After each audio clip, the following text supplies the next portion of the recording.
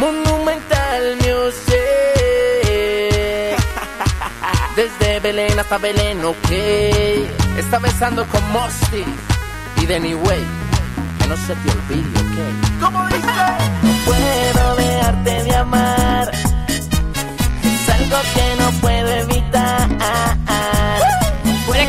Amigos? Hoy nos encontramos con Julián Martínez, más conocido como Rico. Rico, bienvenido a la ciudad de Ibagué y a las cámaras de Cero Estrés. Muchas gracias, muchas gracias por la invitación. Aquí con un poco de calor y un clima bien rico y muy contento de estar haciendo promoción por acá. Eso me contaron, Rico, que vienes haciendo una promoción de un gran sencillo. Así es, ya sale lo que es el disco de la conexión colombiana gracias a la firma Codiscos. Ya lo pueden comprar para toda esa gente que nos quiera colaborar y quiera tener el disco de Rico.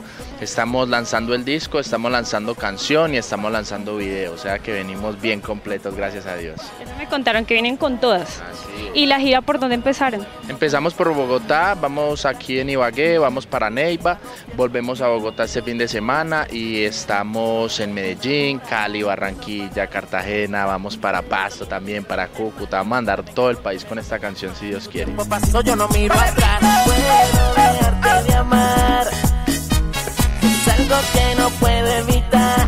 Bueno, Rico, háblame un poquito de tu sencillo Deja- Dejarte de Amar.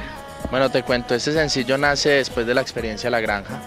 Eh, quise como cambiar un poco el enfoque de lo que venía haciendo, como que era más perreo, más reggaetón, quise hacer algo como más universal.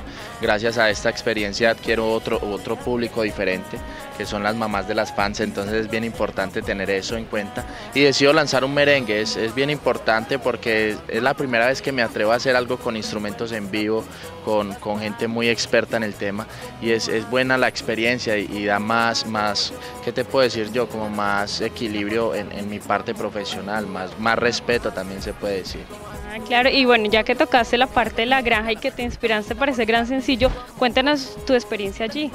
Me contaron que duraste poquito a raíz de que te fracturaste, si no, hubiese seguido total. Sí, pues Dios sabe cómo hace las cosas. Te cuento pues que fue muy duro para mí haberme lesionado, tener el, el- el codo así todavía me duele, no lo puedo estirar al 100%, pero son experiencias de vidas bacanas. Yo creo que cualquier reality que se, que se me vuelva a presentar en lo personal lo volvería a hacer, es convivir con gente que no conoces, con culturas diferentes, aprender de todo el mundo, entonces es una experiencia bien bonita. Ey, que no se te olvide. No puedo, no. No puedo parar. No puedo, no.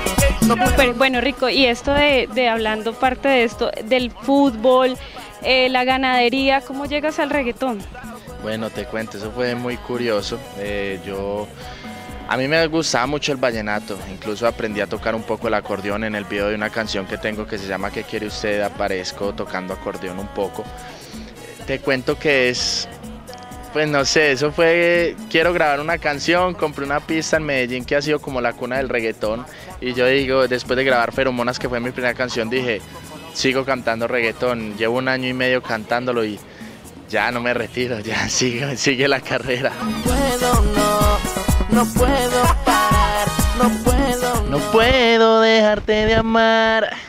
Es algo que no puedo evitar. No puedo dejarte de amar. Es algo que no puedo evitar. R-I-K o rico, que no se te olvide, ok. puedo dejarte